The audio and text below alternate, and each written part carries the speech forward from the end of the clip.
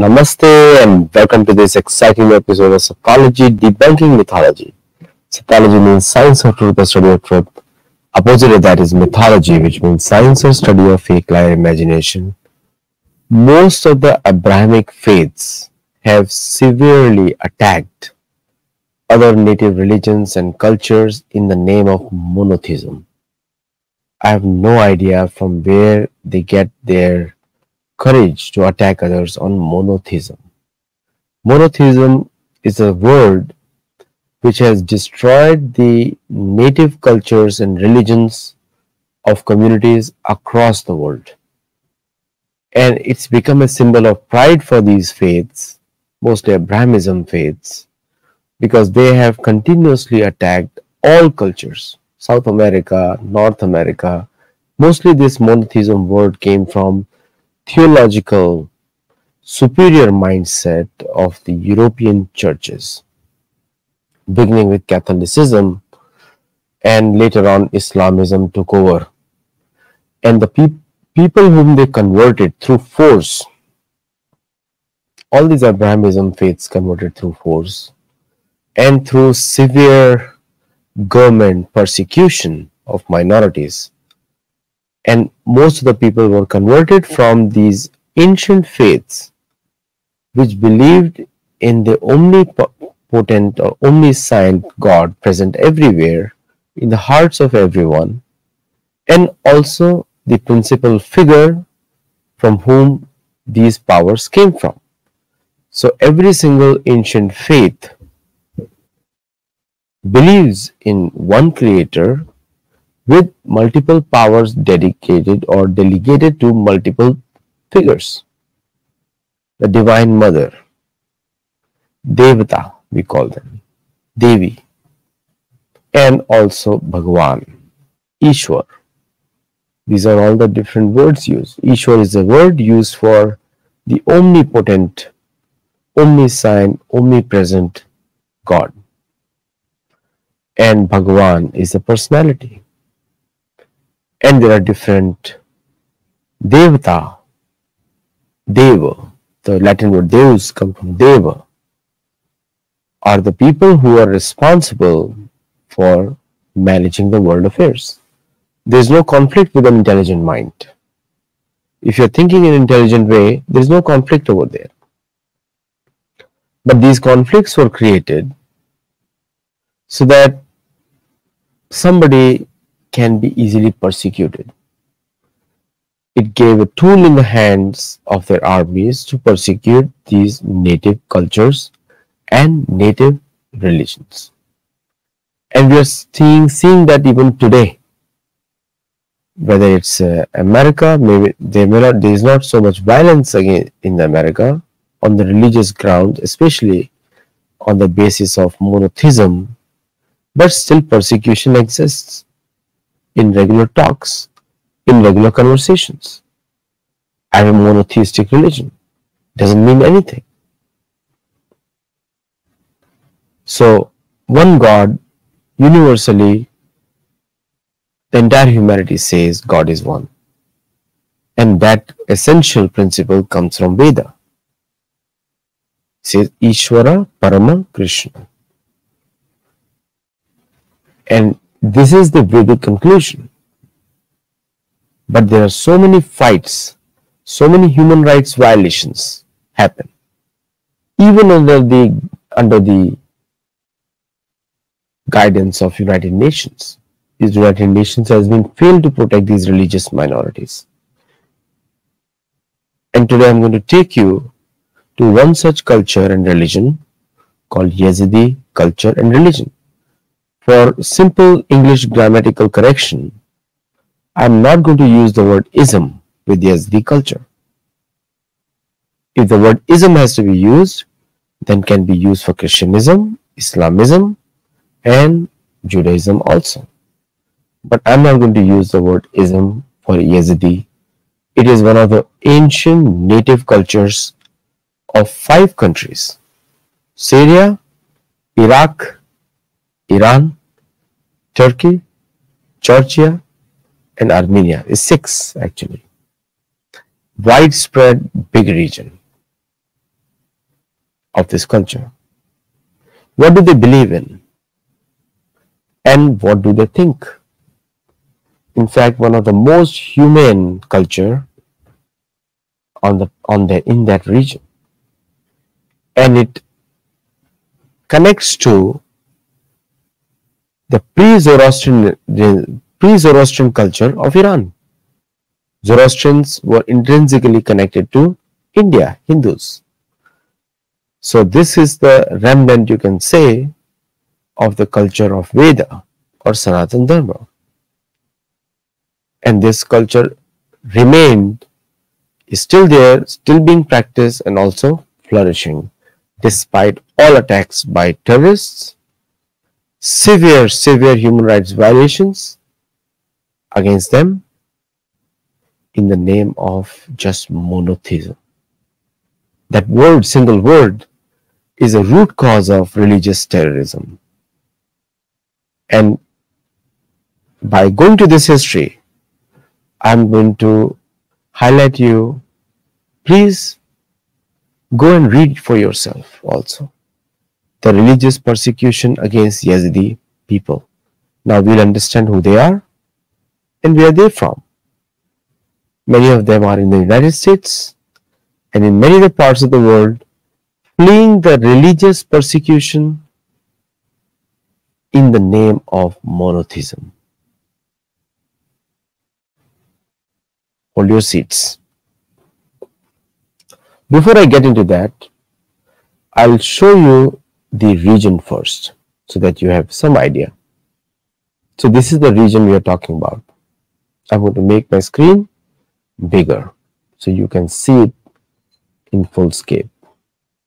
So we are looking at six countries, parts of Iran, Iraq, northern Iraq, Turkey, Georgia, this entire region. My cursor you can see. And there are many places here. I have only captured 18 places. But there are more than 18 places of the temple still existing, some are being, being built new.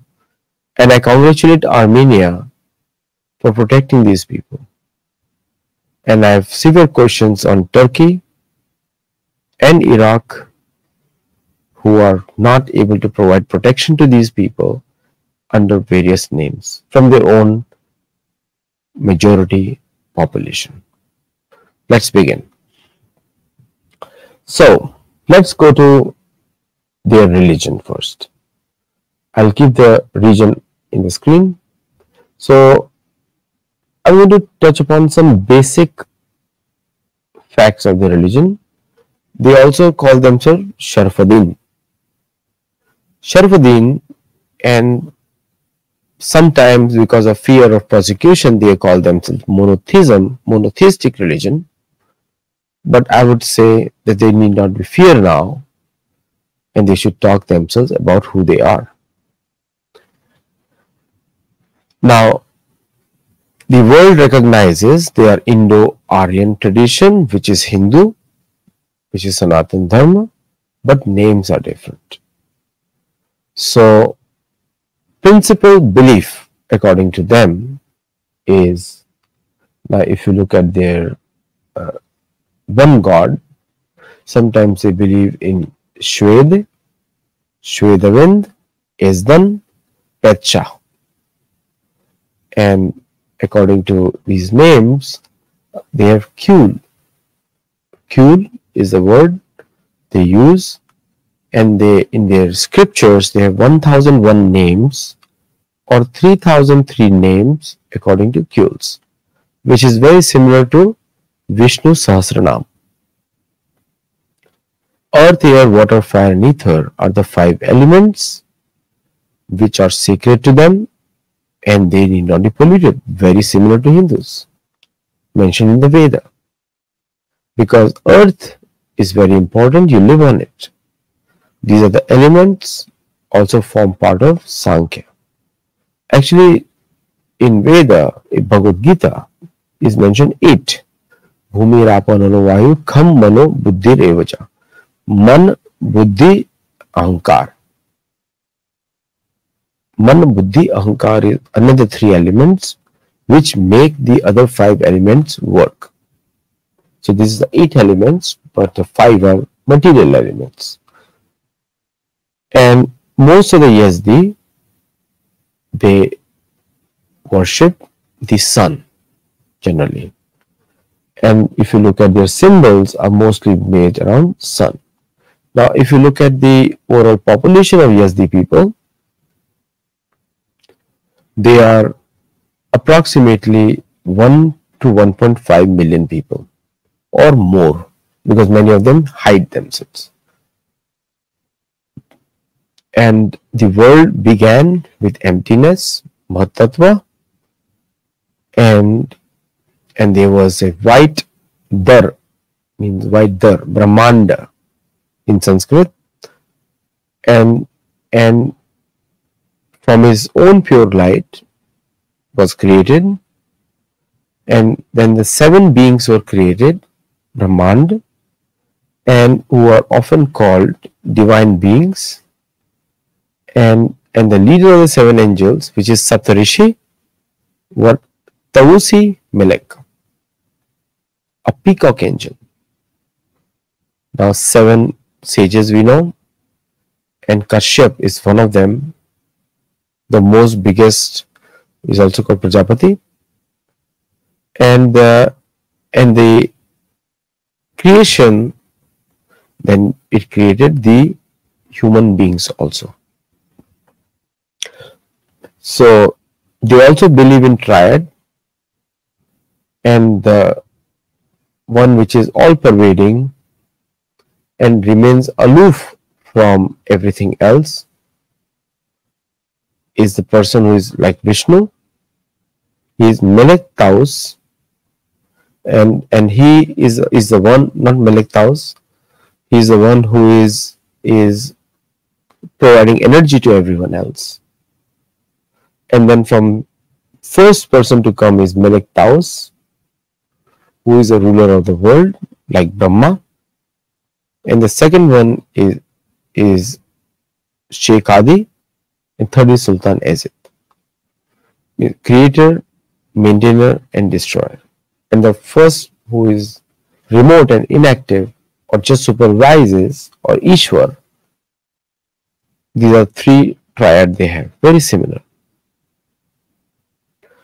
And uh, sometimes the Islamism and Christianism followers call this Melek Taus as evil or Satan. Classical strategy of the monotheism based religions call somebody Satan so that they can be easily persecuted.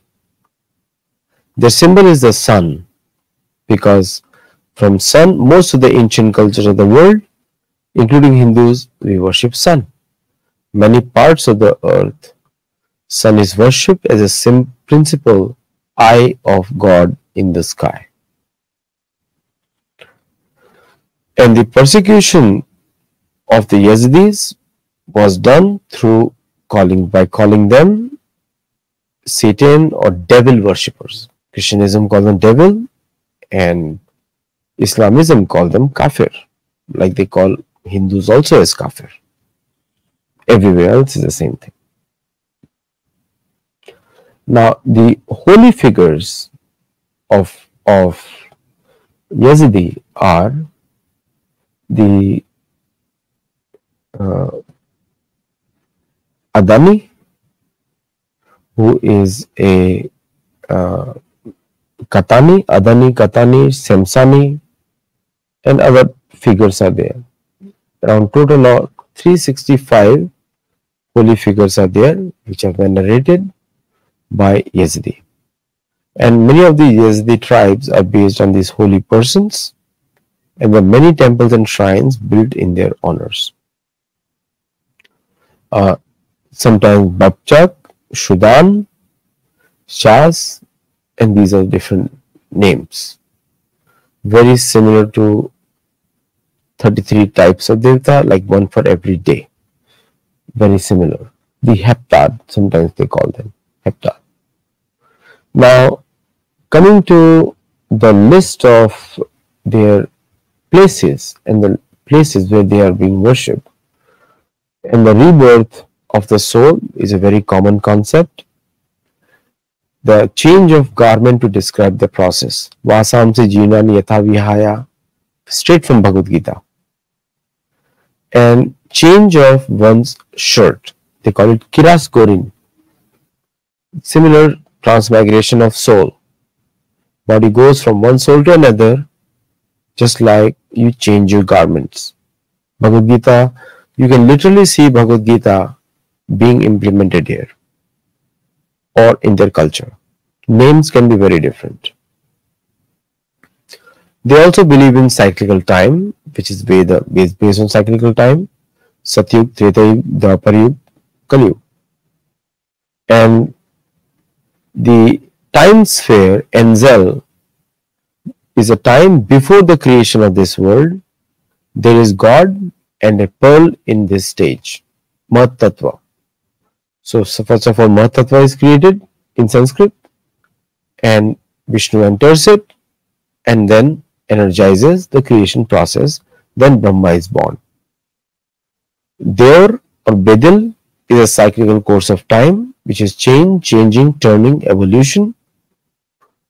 And the linear course which is on the human level which is eschatological and and the the storms of the catastrophes tufan which is uh, pralay. Sometimes pralay happens. There is a partial pralay and full pralay. Mahapralay or pralay. Very common to vedic culture. And the temple's entrances i'm going to show you all the temple entrances which are very similar to a hindu temple somehow i do not know why indian government or somebody from the hindus have not tried to go there, include them, and give them diplomatic protection is needed with them. And their cosmology is also very developed. State before the pearl, which is very Vedic, Mahatattva, after cosmogony, and the creation of the earth and man. Hmm? And the generally in Keole, Tavisi Melek, Ya Rabbi Ji Enzel Dehar Tui Kedimi. Ishwar, you are infinite. And Dua Razne is as they may ji direke enzali me. I am from angel, I am coming from that angel. Many prayers are very similar to Vedic prayers. Words can be different, but the meanings are the same. And this is what makes it very bona fide and a very respected religion, minority religion, which all the people, it is the responsibility of everyone to protect it. The Yazdi QLs responsible, they, they call that the universe originated from a white pearl, like Mahatma said, and there is a hidden, unseen person who is managing it. And and this person from the cosmic world comes out. He rested on the horns of a bull that stood on the back of a fish. And the universe burst out and visit came out and visible as waves rippled across from pearl to from form cosmic ocean so there is a concept of bull and the fish Bull is a symbol of dharma and fish is a symbol of Matsya incarnation also of Vishnu. And the colors are also there and some colors are important, some colors are not important, just like in the Hindu culture. Very similar. And the, the accounts of creation is differs from Judaism, Christianism and Islamism but it is very similar to Vedic culture, Sanatan Dharma culture, very similar. And and that is the difference between Sanatan Dharma culture and also the Abrahamism cultures also. So Yazdi cosmology is very close to Hindu culture and Zoroastrianism, Zoroastrian culture. And there are many literatures are there. Kumanji, Kyul, Dirozge, Sedetia, Din, Tergin, Pist Perde, Kisede, Ksama, Laul, Kirobo, Shimenok, Paizok, Probarin. Very poetic. And the all these holy books are claimed to be the book of information and some they call it black book which is I don't think so is the right name for it.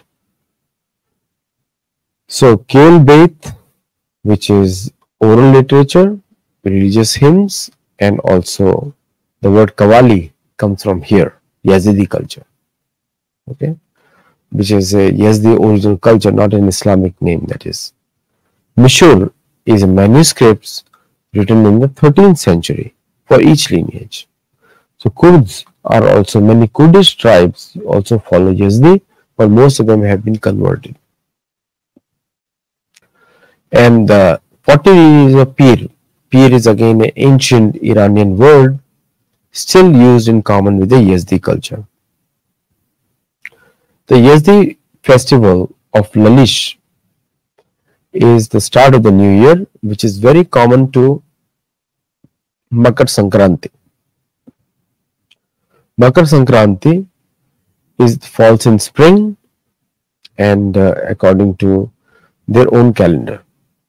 And also another festival is Feast of Ezel for divine figure Sultan Ezid or which comes in December.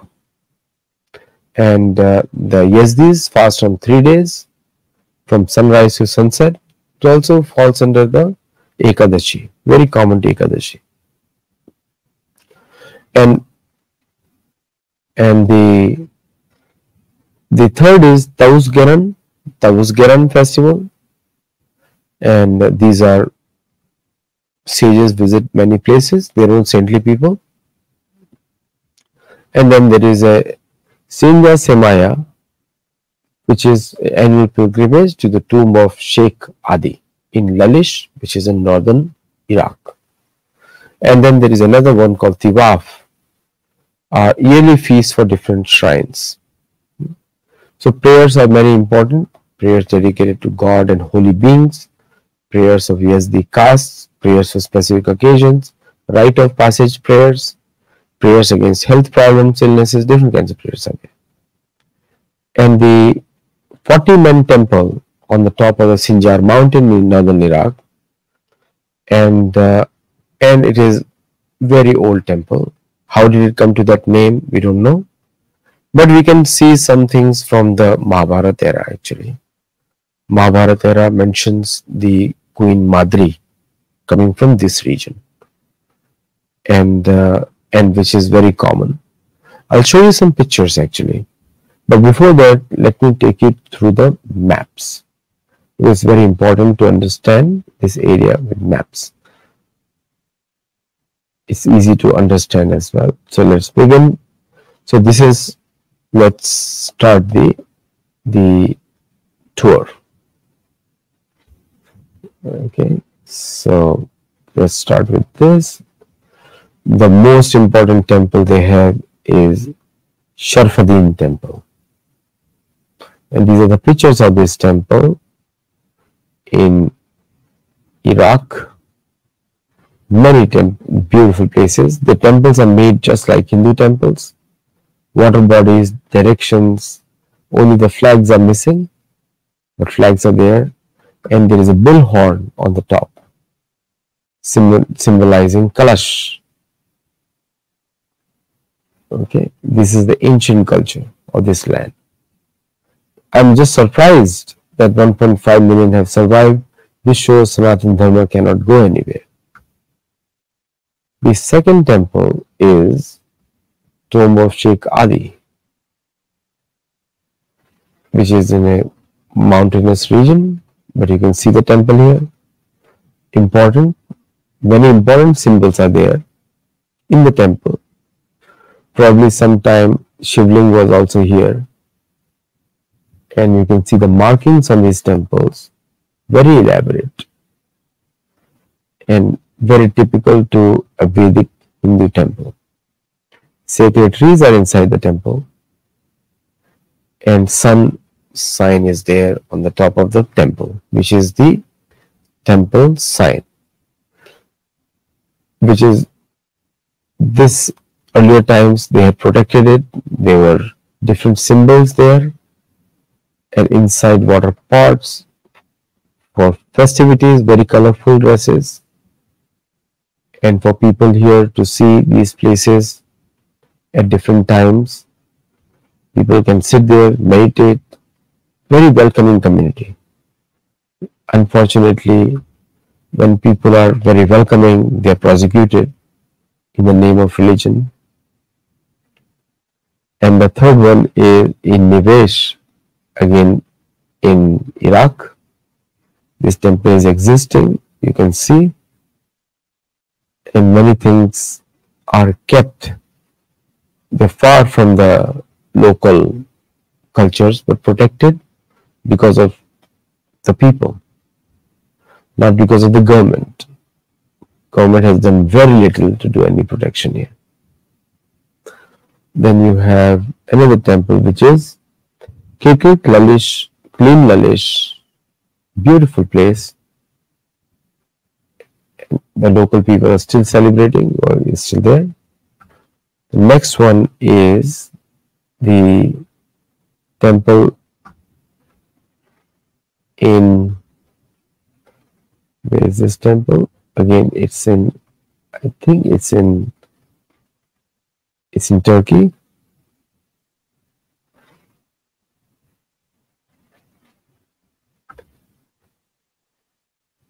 let me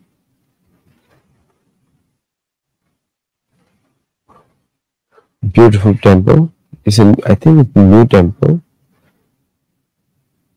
being made here. Beautiful lawns. Again, the sun symbol and the peacock angel. Peacock. Peacock is also connected with Krishna. And uh, these symbols are eternity of time, which is swastika, and the sun symbol is everywhere.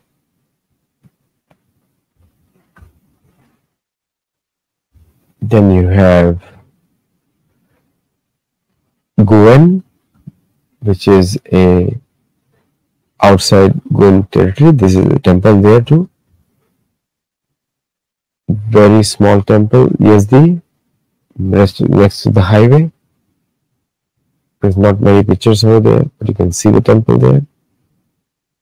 Then you have this temple, which is temple Haji Yazdi, is Hadi Ali Yazidi and which is also there, which is still existing and uh, roadside near the highway. Most of this, what happened was the highways were made on top of these temples by the local authorities. So that's how the destruction happened. Hardly anyone quoted it. First time an American channel is covering it. Temple Chechen Yazdi we already showed before. Sarfuddin temple we already showed, one of the most sacred temple almost 800 years to 1000 years old or more than that before actually and then you have Yazdi shrine which is very famous but how many are there we don't know but beautiful shrine which is protected still existing then you have The temple of Sheikh Hadi, we already saw that before. I already covered that. So this is what their temples look like. Okay. And there are more things you can check out in the video and I can send you the link of these different temples. If you're visiting these places, you should go and visit them and uh, and appreciate the culture. Don't try to teach them. Don't try to change it. Just appreciate what they have and absorb spiritually what you can. Uh, these cultures, ancient cultures, are way more spiritual than any of the Abrahamism based faiths because they are built on experience, they're not built on belief. So they're much more wide, much more acceptable, and, and all these things. It's much better than the religion based things, which are religions often create wars. And Abrahamism war always mired in some supremacy. Judaism fighting with Christianism, with Islamism, and, and, ultimately they attack everybody else too on their way so that they can get more followers. So what goes on everywhere. Hindus have seen it, native religions, indigenous people, Native Americans have seen it, South Americans are seeing it, Native Europeans have seen it, Sami people, Romani people. There are multiple examples, all in the name of monotheism. Now, let me show you how do the people look like, because it is important to see their festivals and their cultures, right? So, first of all, this is their symbol, and uh, which is uh, symbol like sun, which is there, and shrines, which is Mame Peshan, Mame Reshan, destroyed by ISIL in the Sinjar mountain. And ISIL has kidnapped 7,000 to 8,000 women and many of those atrocities which are hard, we recorded extensively, but nobody has taken action on it for various political reasons. Peacock angel, which is Melek Taus in the center, and he is the one, he is also the carrier of Murugan. So there are many things associated with that. Uh, and the uh, Kuba Mera Diwan is the largest temples. It is in the Armenian village of Aknalich. Is dedicated to Melek Taus and the seven angels of Yazdi, separation. If you look at the symbols carefully, symbols denote all the cyclical aspects of time and the importance of the seven angels. Yes, the New Year, Tawaf in the town of Bashika, Sheikh Adi in Lalish, many places. And this is the, they purify, and there are women priests here. They purify a child with water, like in any Vedic Hindu ceremony. And the dresses are very colorful. Some kind of glimpse of the life. Uh, so this is what the culture in the temple is about it. So there is a lot of similarities we can see between Yazdi and Sanatan Dharma. And we should appreciate that and try to incorporate that uh, in our foreign policy. In the United States State Department, I will say, the State Department must, if they want to see this video, and build a protection for these people coming from Iraq, uh, Iran, Israel, and uh, Syria, Armenia, and Turkey. And there's a lot of good karma involved if you do that. A lot of goodwill also involved. And a human America has always stood for human rights. This is a fantastic opportunity to stand for human rights and do something good for these people.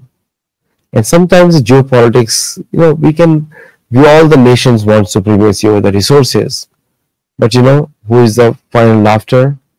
We all have finite time on this earth. We come from earth, we go into earth. So, so considering that something sometimes humanity takes precedence over geopolitics, I would urge the Indian government and the and Russian government and American government to all collaborate to protect these native cultures, indigenous cultures which is a great heritage of humanity.